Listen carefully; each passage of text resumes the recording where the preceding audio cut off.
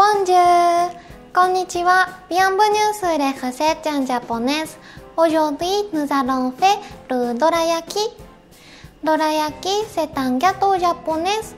C'est comme des pancakes, mais on met des haricots rouges contre pancakes et pancakes. Je pense que ce gâteau est assez populaire pour l'étranger. Alors, c'est parti! Pour les ingrédients, il vous faut 2 œufs, 90 g de sucre, 10 g de miel, 3 cuillères à soupe d'eau, demi-cuillère à café de sauce soja, 100 g de farine. Pour faire la garniture d'anko, cette fois j'utilise cette boîte. Normalement, on peut la trouver dans un magasin asiatique. Et cette boîte de haricots rouges, il y a déjà le sucre dedans, donc je ne mets rien d'autre.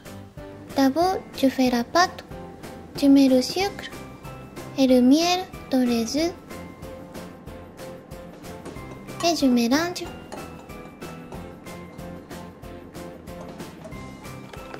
Tu vas les œufs jusqu'à ce qu'ils soient un peu blancs. Ensuite, j'ajoute l'eau et la sauce soja et je mélange. Ensuite, je passe la farine au tamis.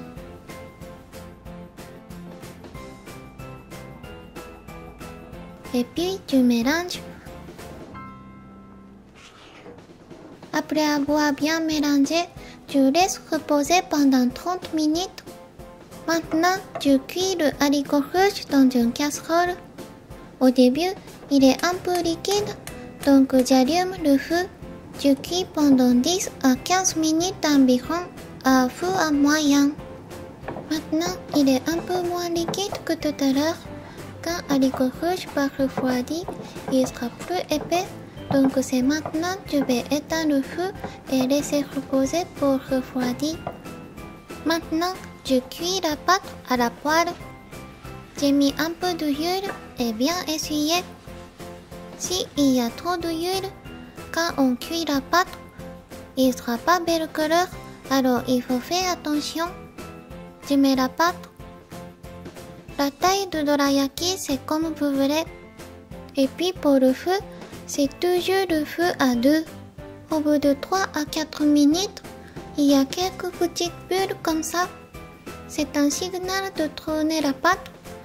Donc je la trône doucement et puis laisser cuire encore 2 minutes environ. Après avoir cuit la pâte, chaque fois enveloppez-la avec un film plastique pour que la pâte ne soit pas sec.